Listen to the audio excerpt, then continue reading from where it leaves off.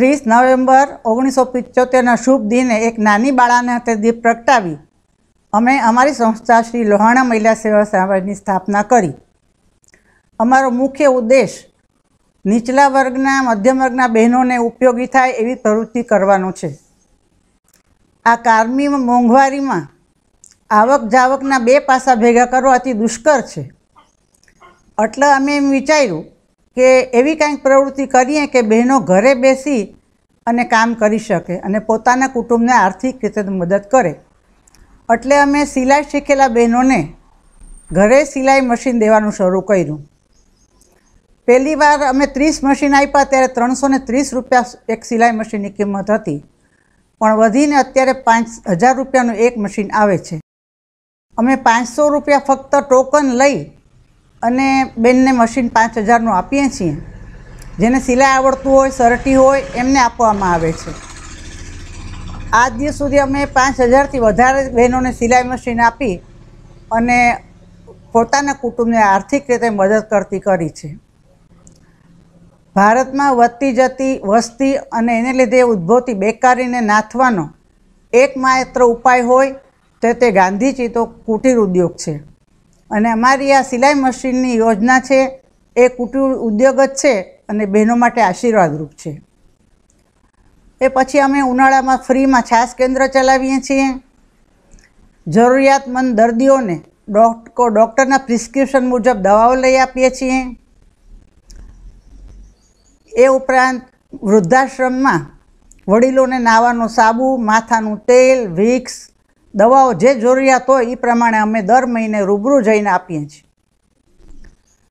જ્યારે શૈક્ષણિક વર્ષની શરૂઆત થાય, ત્યારે જરૂરિયાતમંદ વિદ્યાર્થીઓને સ્કૂલ સ્કેપ ચોપડાનું ફ્રીમાં વિતરણ કરીએ છીએ. કેવડા પાઠ સ્કૂલ છે, એ સ્લમ વિસ્તારમાં છે, જેના કારખાનામાં કામ કરતા ભાઈ બહેનોના બાળકોમાં ભણે છે. એમાં રૂબરૂ અમે જઈને દરેક વિદ્યાર્થીને ફૂલ સ્કેપ નોટો આપીએ છીએ. જ્યારે ડેન્ગ્યુનો રોગચાળો હતો, ત્યારે અમે આયુર્વેદ ઉકાળાનું સાતસો નાગરિકોને તે ઉકાળો પીવડાવેલ. એ ઉપરાંત, અત્યારે જ્યારે આ વિશ્વમાં અને ભારતમાં પણ કોરોના વાયરસે કેર મચાવ્યો છે, ત્યારે તેનાથી પ્રોટેક્શન મળે એવા માસ્ક બનાવવાનું અમે શરૂ કર્યું છે. એ માસ્ક અમે જે બહેનોને સિલાઈ મશીન આપ્યા છે, એ લોકો પાસે તૈયાર કરાવીએ છીએ. એક માસ્કની અમે બે રૂપિયા મજૂરી આપીએ છીએ. કપડું અમે આપીએ, લાસ્ટિક અમે આપીએ અને એ લોકો બનાવી આપે. આજ દિવસ સુધી અમે લગભગ પંદર હજાર માસ્ક બનાવ્યા છે. ઇરવિન હોસ્પિટલ, પછી વાંદાબાવા આશ્રમ, રંગુનવાલા હોસ્પિટલ, એ ઉપરાંત લાલપુર મોકલા આજે ઓખા મોકલા હજાર નંગ. આ રીતે જરૂરિયાત મુજબ અમે વિતરણ કરીએ છીએ. આ અમારી સંસ્થાઓની પ્રવૃત્તિઓ છે. જ્યારે જ્યારે દેશ સામે કાંઈ આફત આવે, તો જે જરૂરિયાત હોય, એ પ્રમાણે અમારી સંસ્થા કામ કરે છે.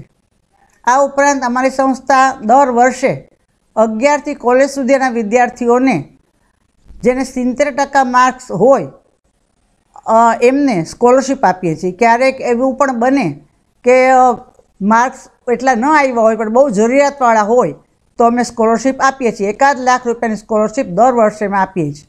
સ્કૂલ, કોલેજોમાં જઈ તેમના પ્રિન્સિપલને મળી અને જરૂરિયાતમંદ વિદ્યાર્થીઓના નામ નામ મંગાવીએ છીએ અને એમને બોલાવી, સ્કોલરશિપના ફોર્મ ભરાવી અને સિલેક્શન કરી અને અમે સ્કોલરશિપ આપીએ છીએ.